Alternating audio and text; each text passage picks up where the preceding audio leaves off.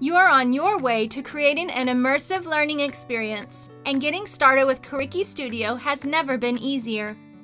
Let's begin by adding a project. First, click the purple Add Project icon. Give your project a name.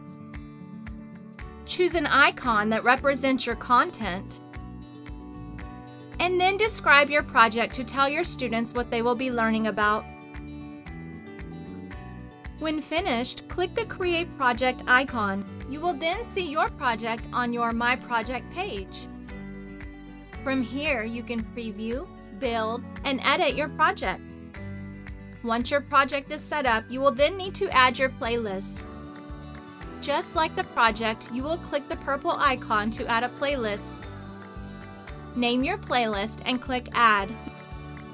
Not only does CurrikiStudio make it easy to create great content, it also offers you the ability to edit your playlist and individual activities, as well as reorganize your playlist with ease.